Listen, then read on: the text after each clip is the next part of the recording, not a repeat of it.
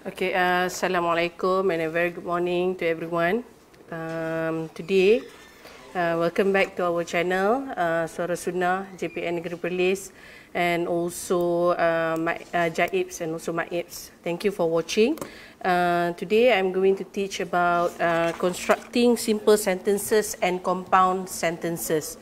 Okay, uh, these two topics, uh, it's actually one topic but it's a bit tough, uh, agak susah.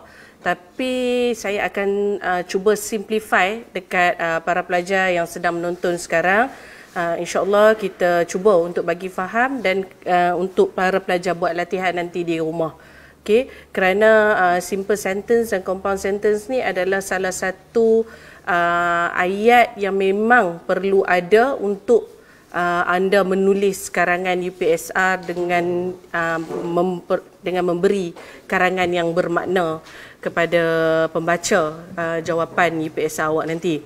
Okey, so uh, sebelum saya teruskan dengan kita punya topik uh, untuk minggu yang uh, dua hari sudah, saya ada nyatakan dekat dalam saya punya slide yang terakhir itu uh, para pelajar boleh scan QR code ataupun masuk URL tapi uh, yang dua hari sudah tu saya bagi QR code. QR code tu para pelajar boleh scan dan juga uh, boleh masuk dalam website Padlet di mana para pelajar uh, boleh uh, bertanya sebarang soalan yang berkaitan dengan lessons ataupun pembelajaran yang telah kita belajar selama dua kali. Setakat sekarang, hari ini baru tiga kali. Uh, dua hari sudah dah jadi dua kali. So berdasarkan pembelajaran selama dua kali itu, para pelajar boleh tanya saya di website Padlet tu. Dan semalam uh, saya ada buka, uh, kita ada satu soalan uh, daripada Siti Farzana binti Muhammad Farouk.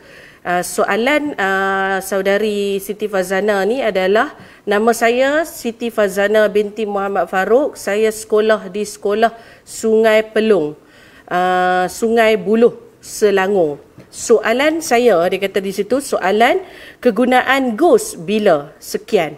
Okey, so uh, saya nak terangkan sekali lagi bagaimana kita nak gunakan uh, perkataan ghost ni uh, dalam karangan awak.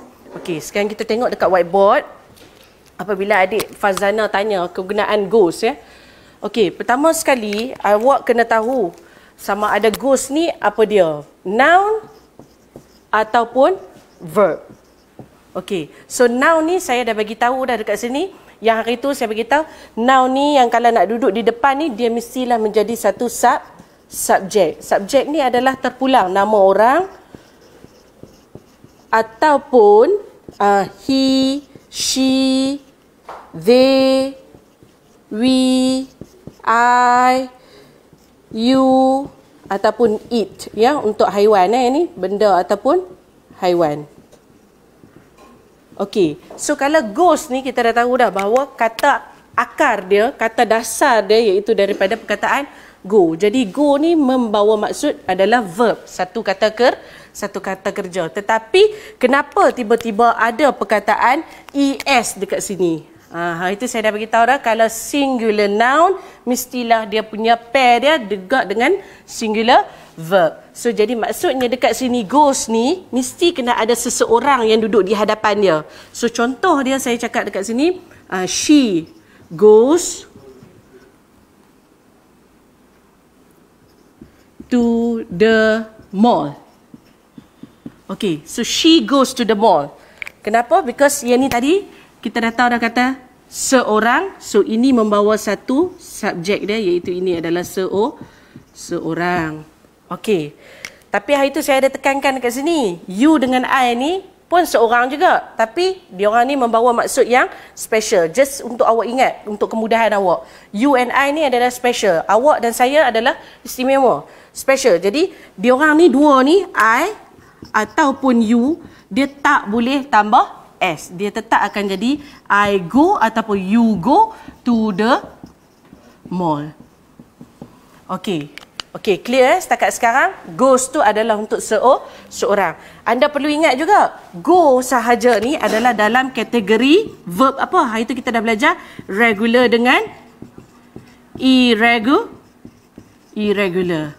So awak kena ingat juga, kalau yang untuk dalam benda past tense, past tense, dia akan jadi apa di sini? Dia tak akan jadi regular. Pasal tak ada perkataan yang ada goat. Mana ada ed kan? So dia akan beru, berubah. Daripada go dia akan jadi when. Senang saja awak tukar. She went to the mall. Okey, sekarang clear dah basic dia. Untuk pertanyaan awak yang awak tanya kegunaan goes tu bila? Bila goes ni bila bermaksud dia seka sekarang. Kalau dia dah when maksud dia past tense, dia dah jadi ataupun dah berla berlaku. Okey, so kegunaan goes ni adalah pada waktu sekarang. So contohnya hari tu saya dah ajak anda time frame yang menerangkan sekarang apa dia? Today. She goes to the mall. Harap uh, persoalan adik Siti Fazana binti Muhammad Farouk daripada sekolah Sungai Pelung Sungai Buluh Selangor terjawab. Okey, sekarang kita masuk dalam kita punya tajuk hari ini constructing simple sentences and compound sentences. Okey, sekarang ni hari tu dua hari sudah saya dah ajar tentang simple sentences. Hari ini saja nak ulang balik sedikit untuk kefahaman yang lebih mendalam. Simple sentences call an independent clause includes a verb and noun. Okey, so saya nak terangkan dekat para pelajar sekarang apa itu clause ya. Eh?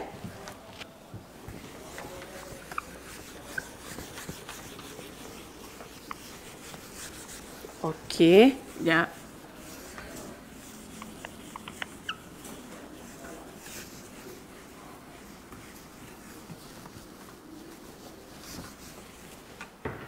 Okey. Clause eh, independent clause. Independent. Okey. Independent clause. Okey, independent clause ni adalah perkara yang terjadi apabila dia ada satu noun dan juga ada verb.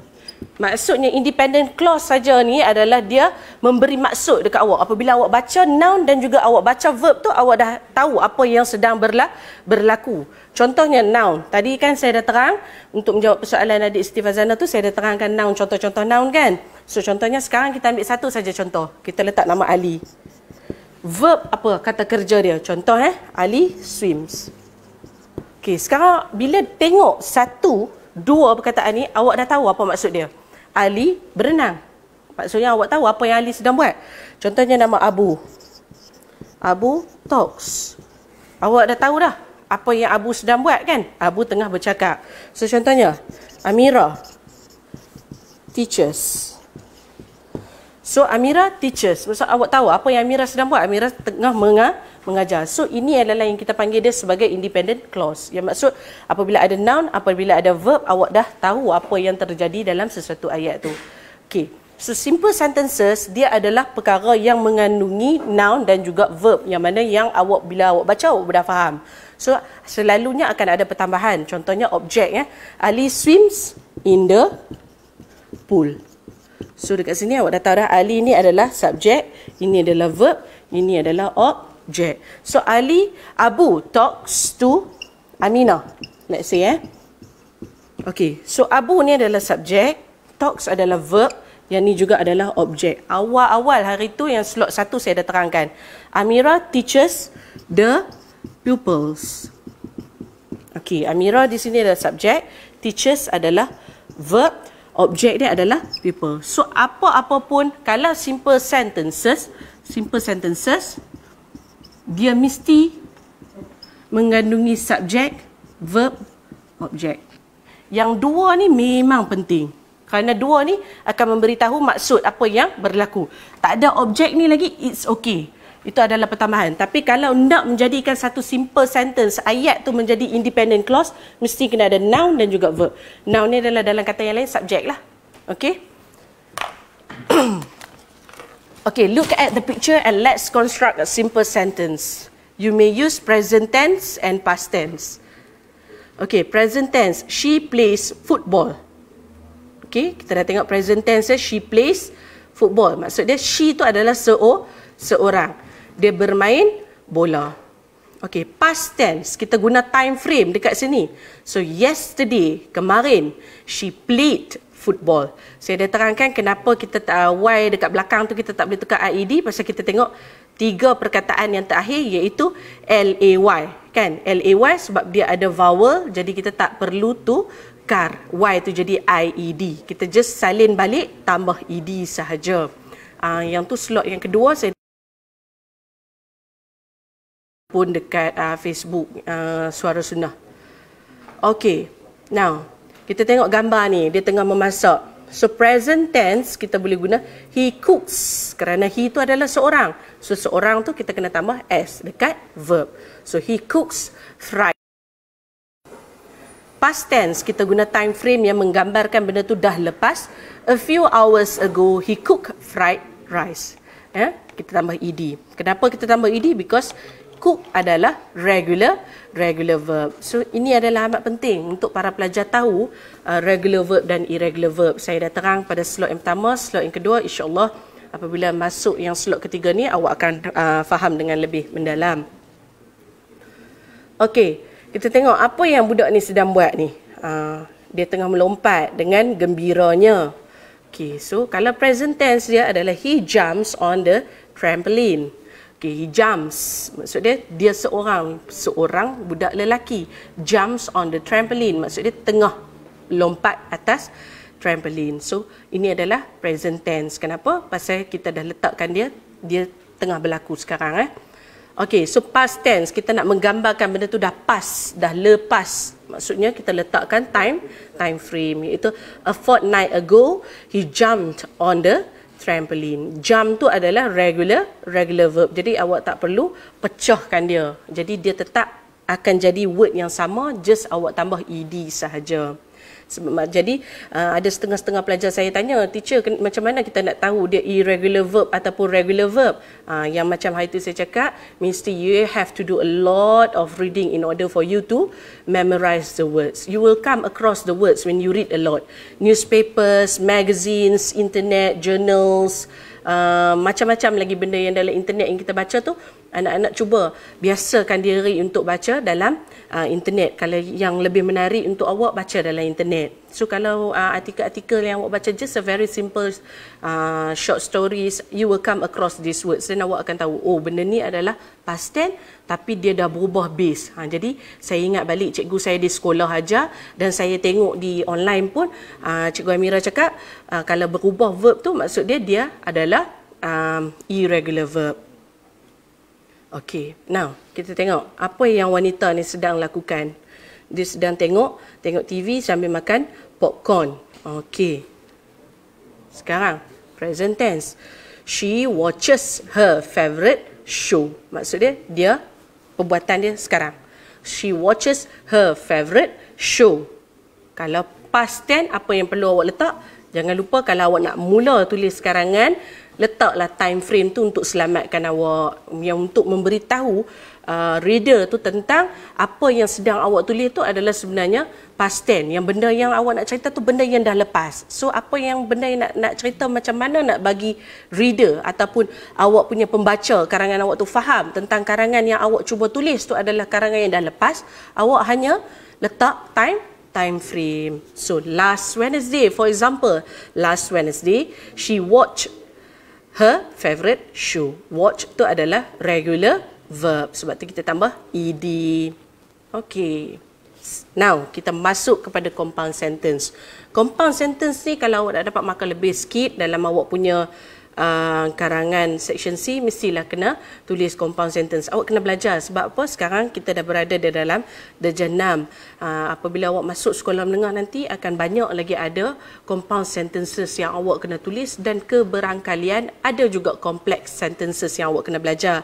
Tapi ha, untuk level darjah 6 uh, tak perlu lagi kita belajar complex sentences. Tapi jika awak mampu awak bolehlah Google tengok macam mana awak nak buat complex sentences. But for now the crucial one, the gist of the language for year 6 uh, English uh, subject, you really have to know what is simple sentences and what is uh, compound sentence and how to construct them. Okay, a compound sentence is a sentence that has at least two independent clauses joined by a comma, semicolon, or conjunction. An independent clause is a clause that has a subject and verb that forms a complete thought. Okey, sekarang ni kita tengok balik dekat whiteboard. Tadi saya dah cakap kalau independent, independent clause dia ada satu dia ada noun dan juga verb kalau simple sentences. Sekarang ni kita nak tengok tentang compound sentences. Okey. Compound sentences terdiri dalam benda yang sama juga cuma ada pertambahan sedikit sahaja. Okey. Kita baca balik. A compound sentence is a sentence that has two independent clauses joined by a comma or semicolon loan. Okay, or conjunction. Okay, sekarang kita tengok eh. Okay, independent clause ni sebenarnya uh, dia punya compound sentence eh. Sekarang kita tengok compound. Macam mana awak nak buat compound sentences? Okay, compound sentences ni dia terdiri daripada independent clause yang pertama. Independent clause yang pertama. So ini adalah first eh. Kita bagi nama sebagai first. Okay, independent clause. Lepas tu dia ada comma, comma, ada satu kat sini. Sekejap lagi kita akan tengok conjunction. Lepas tu dia sambung balik dengan independent, independent clause. Maksudnya independent clause tadi saya cakap kena ada apa? Yang penting mesti kena ada subject ataupun noun lah ataupun dan juga verb S and V. Hak ni pun mesti S and V. Sekejap lagi kita akan tengok apa dia yang lopong dekat sini ni. Yang perlu, yang boleh kita joinkan dia dan kena ada comma dekat sini. Sekejap lagi kita tengok. Okey. Okey, ni dia punya formula lah. Ha, kalau awak nak faham, independent clause ni untuk compound sentence dia mesti kena ada ada satu independent clause comma lepas tu ada ayat yang akan joinkan dia tengah conjunction tu yang kita akan pakai conjunction lagi. Untuk kita joinkan satu lagi independent clause untuk menjadi satu ayat com compound. Mungkin sekarang awak tak nampak lagi sebab saya tak tunjuk example. Awak kena tahu apabila awak belajar apa-apa subjek pun kalau pendapat saya lah apa-apa subjek yang saya belajar saya suka cari contoh. Sebab kalau melalui contoh tu saya senang faham Okey, sekejap lagi saya akan bagi banyak contoh dekat awak untuk memudahkan awak faham dengan lebih lebih mendalam eh. Okey. So, apa yang nak join independent clause yang pertama dan juga independent clause yang kedua? Macam mana awak nak join dia? Dengan menggunakan fan boys. Awak ingat ni dah ada formula dia adalah F A N B O Y S. Setiap satu huruf membawa maksud yang tertentu. Sekarang kita tengok apa itu fan boys. Okey, ini fanboys. F tu adalah for, A tu adalah and, N tu adalah nor, B tu adalah but, O tu adalah or, Y tu adalah yet, S tu adalah so. Awak boleh hafal benda-benda ni untuk awak faham. Ingat fanboys, ingat for, and, nor, but, or, yet, so. Okey, tetapi untuk darjah 6, ah, para pelajar saya pun saya dah bagi tahu, saya tak galakkan awak untuk guna nor. N-O-R. Nor tu uh, a little bit tough untuk awak nak uh, construct sentence awak. Saya takut awak buat silap. Jadi untuk hari ni kita ignore dulu no tu. Kita abaikan dulu no tu sekejap. Tapi untuk for, and, but, or, yet, so kita akan tengok. Sebab benda-benda ni adalah uh, lebih kurang sama yang awak dah duk buat dalam karangan awak cuma awak tak pasti perkataan apa yang awak boleh tam, boleh uh, replace awak boleh gantikan dengan perkataan yang selalu awak guna Okay, kita tengok contoh. Okay, now coordinating conjunctions eh. Conjunctions ini adalah fan boys. Cuba awak tengok huruf F A N yang huruf warna merah tu kan. F A N B O Y S. So jadi fan boys. F tu untuk apa? F tu adalah for. For ni adalah maksud dia sama juga dengan because. Ha, cuba kita tengok example dia. I have to find a new job for I am unemployed cuba awak gantikan for tu dengan because. Kerana I have to find a new job because I am employed. Maksud dia dia sama. Saya kena cari kerja yang baru kerana saya, saya tiada kerja dalam example ni, dalam contoh yang diberi ni. Ha, kerana. So for ni adalah sama maksud dengan kerana. So instead of you are using because, because, because, because in your uh, essay section B2 and section C, you might also uh, replace the word because with for. Boleh gantikan perkataan because tu dengan perkataan for. Sekejap lagi kita tengok macam mana kita nak buat. And, ha, A and D, and. Apa dia? And ni untuk in addition to. Maksudnya apabila awak guna perkataan and, and ni, awak nak menambah sesuatu maklumat. Contoh dia, I am a husband and father. Maksud dia, dia adalah seorang suami dan juga seorang ayah. Ha, maksudnya pertambahan maklumat, suami dan ayah nor. Ha, yang ni yang tadi saya tak galakkan awak buat. Tapi kalau awak boleh nak buat, awak boleh cuba. And not. So neither my parents nor my friends supported me. Selalunya saya tak galakkan para pelajar saya gunakan perkataan no lagi kerana uh, agak susah. Okey untuk awak nak uh, uh, sentence. Awak buat karangan, tulis ayat yang awak pasti betul-betul tidak menjerat awak balik. Ha, maksudnya boleh dapat juga markah. Janganlah bagi dapat kosong terus. Okay? Sebab apa kita datang ke sekolah, kita bawa galah beg, kita penat-penat pergi sekolah, takkan kita nak dapat kosong kan? Ha, so, you really have to learn. Okay? But, but ni adalah tetapi ataupun bermaksudnya however. So, tengok eh dekat sini. I have got a home but I haven't got a car. Saya ada rumah tetapi saya tak ada kereta kita. Maksudnya dia dua perkataan nak nak membandingkan ada pembandingan but eh or or ni maksud atau either ataupun membuat pilihan. Contohnya which color do you like? Red or blue? Awak suka warna merah ataupun biru? Okey. So setakat sekarang ni okey eh boleh follow eh. Sekarang yet Yet ni sama maksud dengan but sebenarnya. Yang macam tadi kita kata but dekat atas tu akan tetapi. Yet ni pun sama dengan but. So Tom plays basketball well yet his favourite sport is football.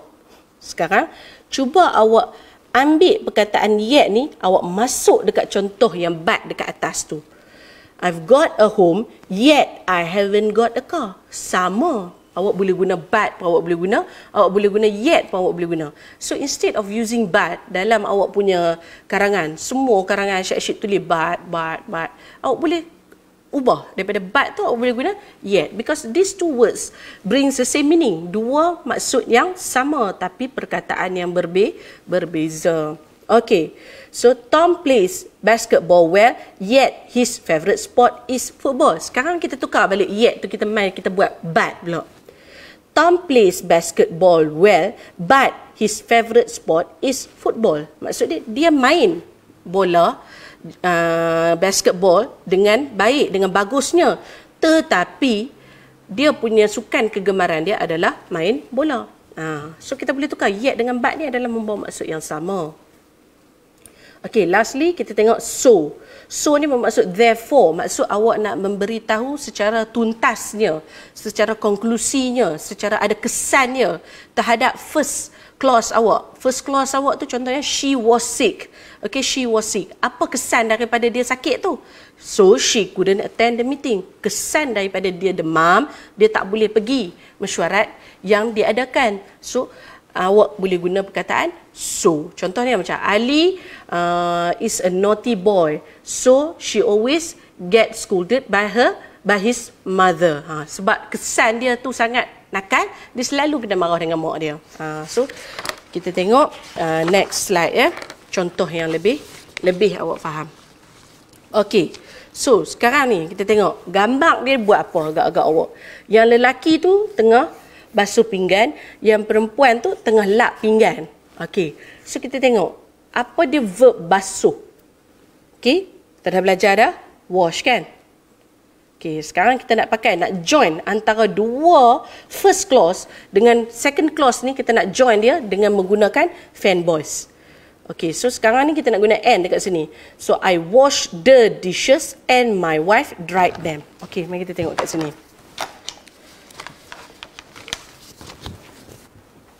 I wash the dishes and my wife dried them. Okay. So kita tengok nah. I wash the dishes and my wife uh, dry them. Ini adalah ada berlaku penambahan maklumat. So ini kita panggil dia sebagai first clause.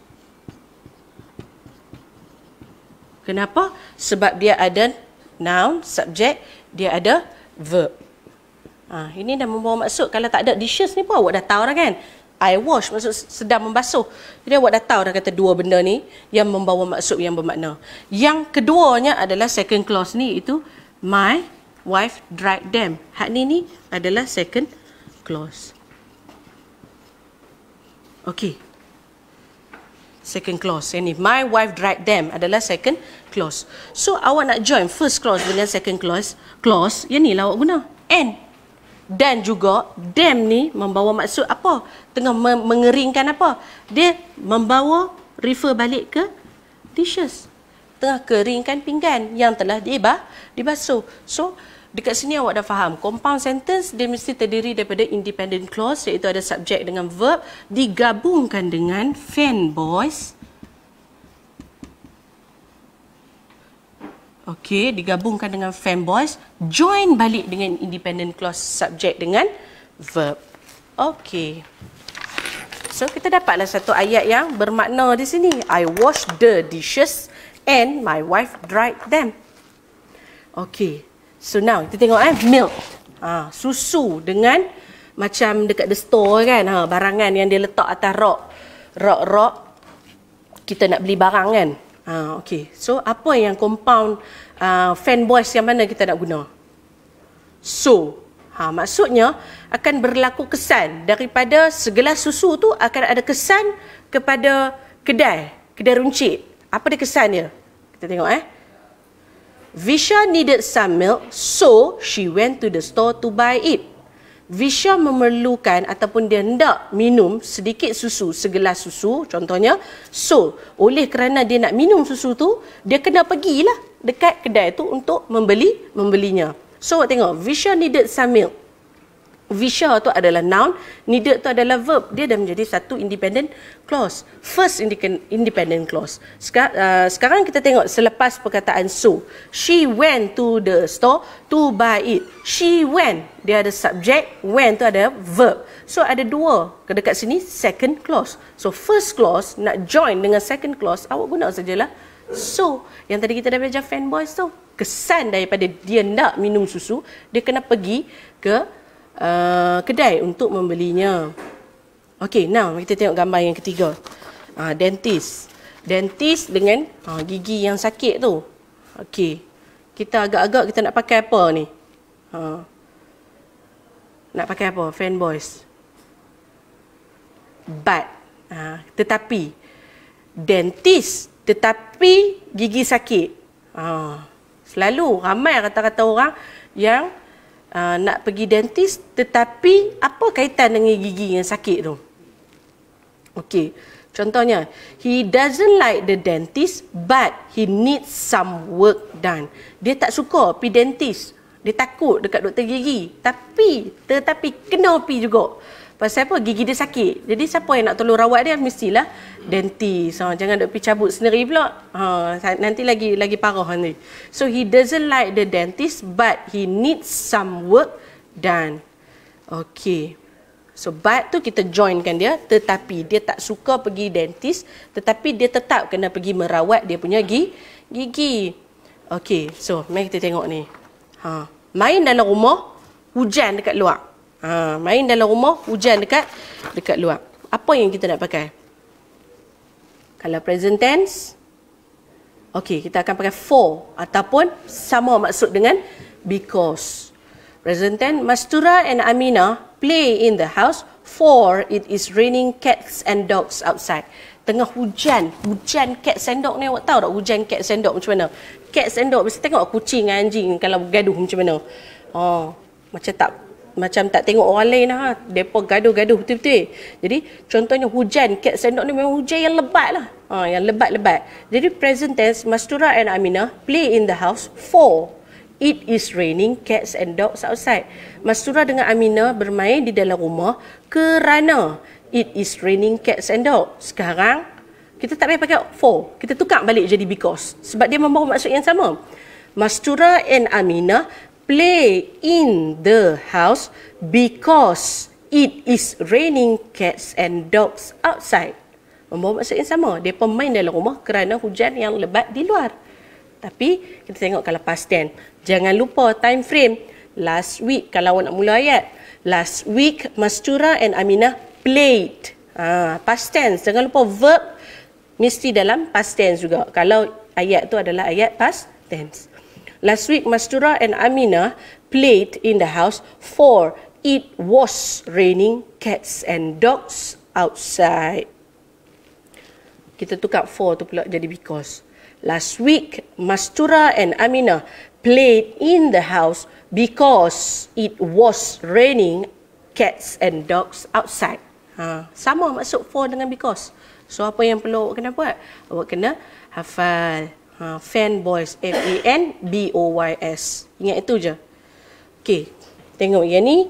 Dia main-main dengan nenek dia. Dan gambar kedua, dia duduk di rumah. Tengok TV.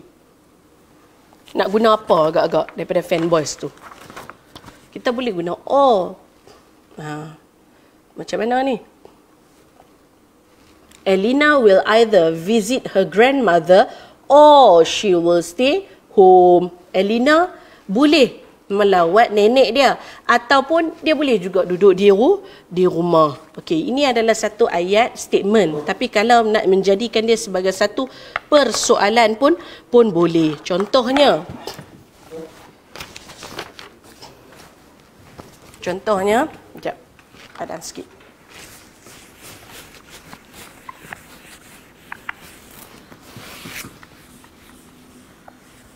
Okey, contohnya, would you like to eat with spoon or frog. Okay, tanda tanya. Would you like to eat with spoon or fork? Okay, so sekarang awak tengok lah. Awak dah gunakan dia punya fanboy satu ni. Spoon. Yang ni ni adalah dalam bentuk ayat ta tanya. Yang tadi kita tengok dekat dalam uh, screen laptop tu, Elina will either visit her grandmother or she will stay home tu. Yang tu adalah ayat satu statement. Ayat yang mana yang bila awak baca tanda nota itu adalah satu statement. Tapi kalau awak nak menjadikan or ni sebagai satu ayat tanya pun boleh.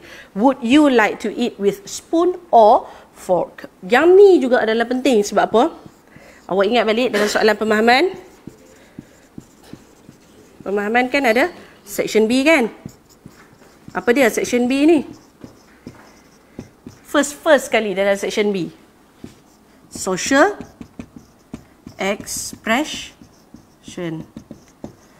Social expressions. Ha, awak dah boleh guna lah ni kat sini. Ha, okay.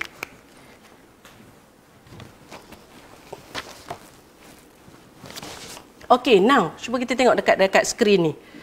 Dia kata, What if you come across verb tapi kata kerja tu tiba-tiba ada ing pula? Ha, sebelum ni saya kata verb tu ada ed ataupun es ataupun s kalau present tense dia s ataupun es tapi uh, kalau past tense dia tambah ed ataupun d ataupun ied kan yang ujung dia y kita tukar ied kalau untuk irregular verb kan. Okey. Sekarang ni kita tengok tiba-tiba verb ni ada ing pula. Macam mana nak buat? This one is very easy sebenarnya tapi I find it uh, banyak para pelajar yang menganggapkan verb ing ni satu perkara yang susah tapi senang sangat-sangat. Remember the verb is in the progressive form. Kenapa saya merahkan progress ni? Progress ni maksud benda tu dilakukan dari semasa ke semasa.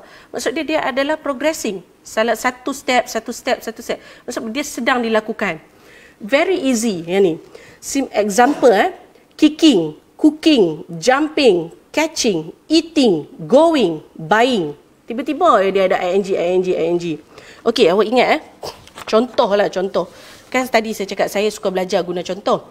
Sekarang saya nak bagi contoh macam mana masa dulu saya UPSR. Masa saya tahun uh, 2004 uh, uh, saya UPSR. Okey. Uh, macam mana nak ingat uh, apa ni ING ni? Uh, saya selalu ingat bila ada ING ni kita imaginekan benda ni sebagai kasut tinggi ya. Kasut tinggi orang perempuan pakai kasut tinggi kan. ING. So kalau lah kicking ni okay, ada ING, dia pakai sebelah lah kasut tinggi. Sekarang cuba awak tengok, boleh tak orang, perempuan, wanita berjalan pakai kasut tinggi sebelah lah. Tak payah pakai sebelah lagi. Dia jadi herot kan? Kita jalan tak sama kan? So apabila dia jadi herot tak sama tu bermaksud apabila sebelah ni pakai kasut tinggi, sebelah lagi pun kena lah pakai kasut tinggi. Uh, apa dia yang sebelah lagi yang kita nak tambah ni? Uh, yang ni lah kita nak tambah. Is, was, are, were. Ha, hak ni lah penyokong dia balik. Dia punya uh, kasut tinggi sebelah lagi. Ha, so kalau ada kicking tu, ing tu ingat. Ha, dia kasut tinggi sebelah. Tapi janganlah biar tulis ayat karangan tu. Contohnya, Ali kicking the ball. Salah tu.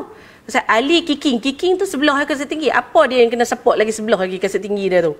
Ha, contohnya, is, was, are dengan were. Yang ni lah present tense dengan past tense dia. Uh, is tu untuk kita gunakan sebagai present tense. Was tu kita gunakan untuk nak menerangkan bahawa benda tu Ali dah buat benda tu. A sedang berlaku. A jadi ramai. Were ni untuk ramai tetapi yang dah lepas. Benda yang dah berlaku. So Ira, Ira is kicking. Objek dia apa? A ball. Contohnya Ira is kicking a ball. Maksudnya barulah ayat tu lengkap. Awak tak boleh kata Ira kicking the ball. Ha, Aira kicking. Ada ing tu rasa tinggi sebelah eh. Sebelah lagi pergi mana? Jadi Aira is kicking the ball. Iskandar was cooking spaghetti. Contoh dia. Objek ni kita tengok dalam gambar akan diberi ya. Okey. He or she is ataupun was. Sebab he pun satu, she pun seorang. Jadi is ataupun was. It is ataupun it was. The cat lah contohnya kata kita kata. Contohnya it ni adalah cat, kucing kan. It is eating the fish. Uh, okay. They, awak tengok they. Kalau hijau tu dia gu dia dengan hijau juga. They are cooking, they are jumping, they are catching, they are eating, they are going, they are buying. Ha, barulah lengkap ayat awak tu. Banyak para pelajar yang selalu tulis they catching, they jumping, they cooking. Tak boleh. Ingat eh, kasut tinggi mesti pakai dua belah. Okey. We, we are ataupun we were. Aira and Iskandar, dua orang. Barulah kita panggil pakai are ataupun were. You, special case, are. You were.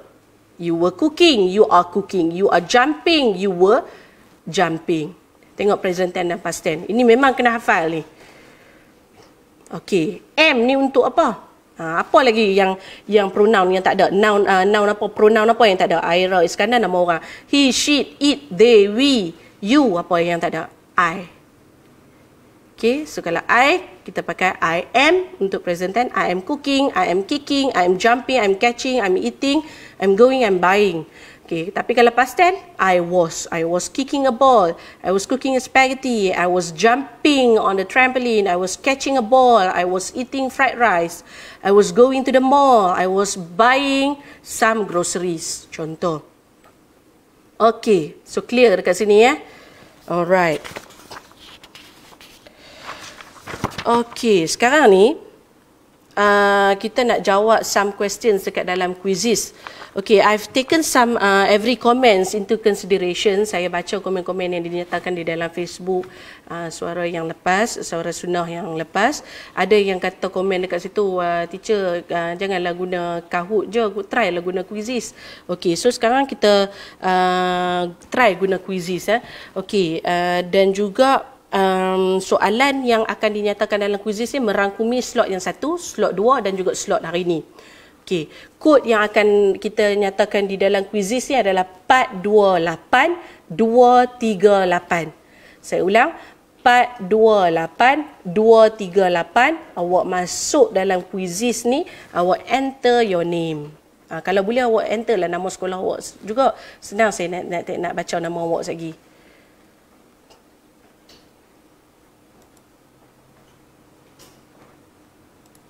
Okay, ha, ni.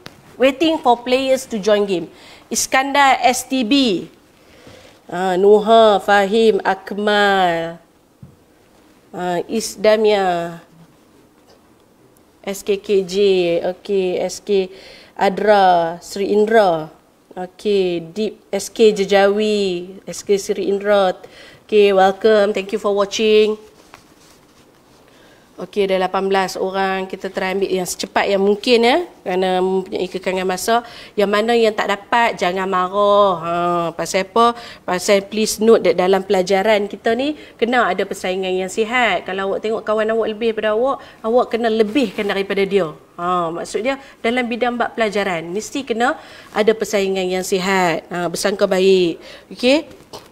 Dan juga awak kena ingat, our life is too short to spend for even one minute to get angry. Hidup kita ni sangat singkat.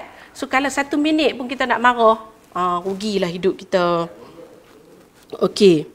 Yang penting tu kita usaha. Jangan jadikan uh, kuis yang kita jawab online ni apa semua sebagai satu kayu pengukur uh, intelektual awak. Semua orang pandai. Ada bidang-bidang yang mereka pandai masing-masing. Ada yang pandai bidang uh, kerja tangan, ada bidang matematik, bahasa Inggeris, language. So, stay positive. Yang tu yang penting, stay positive. Kavish SK Stella, okay. Ada orang dari luar daripada negeri Perlis ke? Ha, kejap lagi awak tu tanya soalan dekat saya. Saya seronok orang tanya saya soalan. So awak tanyalah dekat uh, apa ni Padlet tadi sekejap lagi lepas habis kita main ni quiz ni kita akan tengok. Ha, okey. Ada 660 orang sekarang tengah view ada online. Ada ha, tengah view quiz kita ni sekarang. Okey, masuk dalam 160 kita stop nah. Okey, don't worry saya akan ada lagi dua slot insya-Allah. Ha, kalau dalam dua slot ni kita akan tengok untuk minggu depan, kita akan tengok cara macam mana awak nak dapat juga markah uh, untuk section C tu jangan bagi dapat kosong langsung. Bagi juga dapat markah sikit. Uh, jangan dapat kosong langsung. Saya nak ajak macam mana nak da- dapat juga markah sikit walaupun sikit. Okey. Uh, dan juga kalau kata ada banyak pertanyaan di dalam Padlet nanti akan ada banyak soalan daripada anak-anak para pelajar. Kita slot yang last kali nanti ni uh, kita akan buat uh, Q&A session kita jawab soalan saja. Kita tak payah belajar-belajar dah. Ha, kita relax-relax. Okey. 189. Okey, kita teruskanlah ya. Okey. Bismillahirrahmanirrahim. 5 4 3 2 1 Go.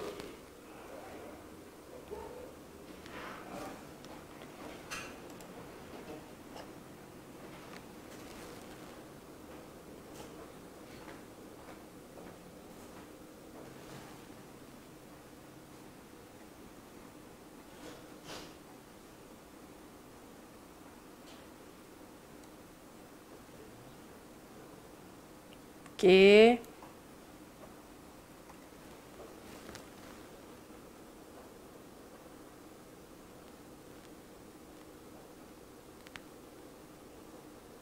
Nombor satu tu choose the regular verb. Ha, awak ingat regular verb balik. Apa dia yang boleh jadikan dia regular verb? Drive. Drive regular verb ke? Ha, dia akan jadi irregular verb kan? Dia akan jadi drove. Kick. Ha, select. Yang mana satu?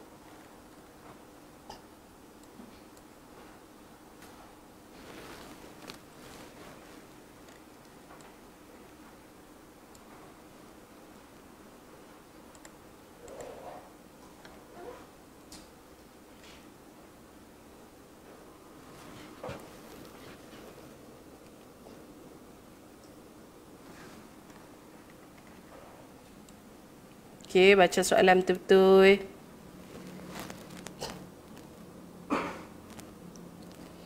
Irregular verb, tengok irregular verb. Kalau play, dia jadi tambah ed. Kalau take, dia jadi took. Ha. Kalau look, dia ada ed. Drink, dia akan jadi drank. Ha. Makna drank ni adalah irregular verb lah.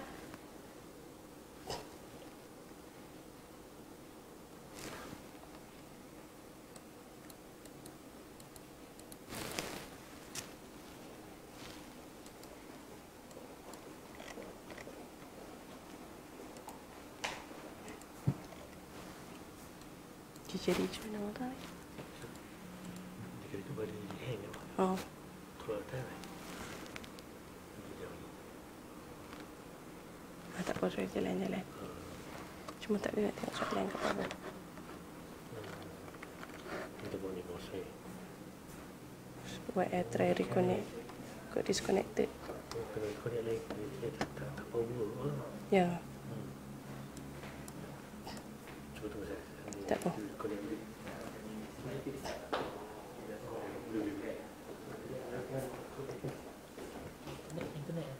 Okay.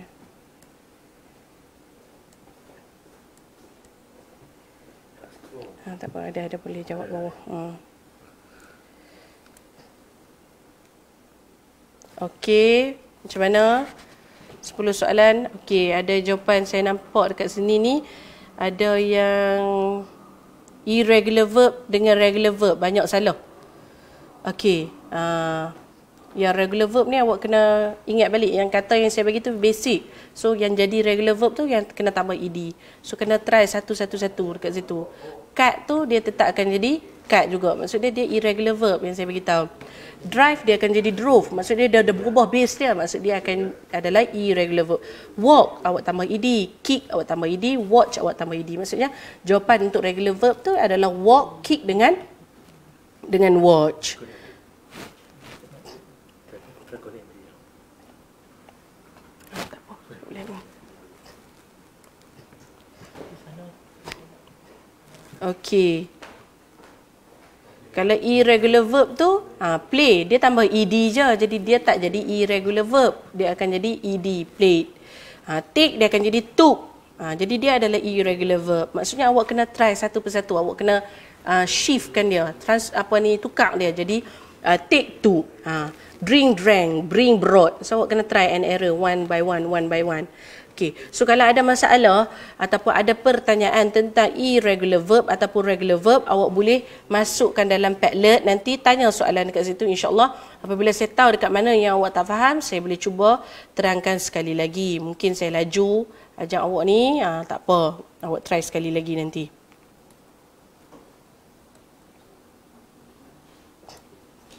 Okey. Okay, now. Okay. Uh, kita dah tamat quiz tu. Terima kasih yang mana yang join. Okay, insyaAllah next time kita buat uh, quiz yang lain pula. Okay.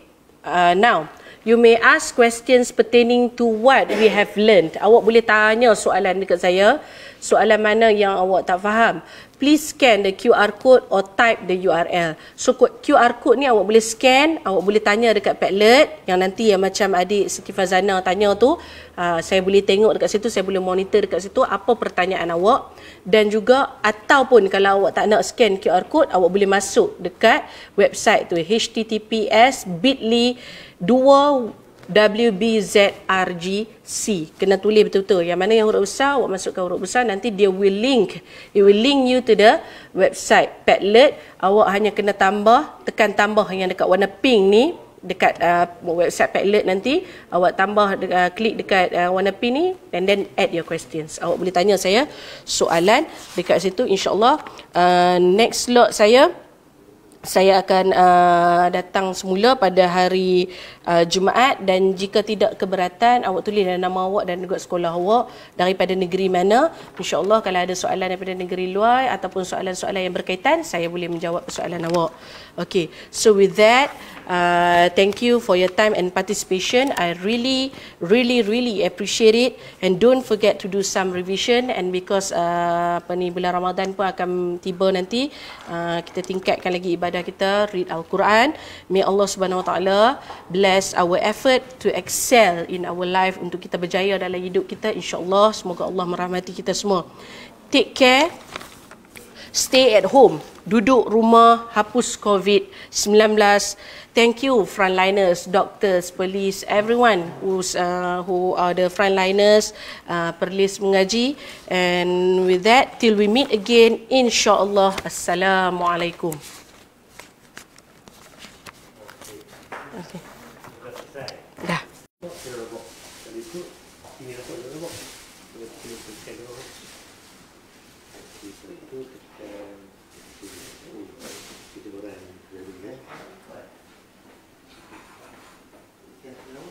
ketika sekali tu. Last sekali.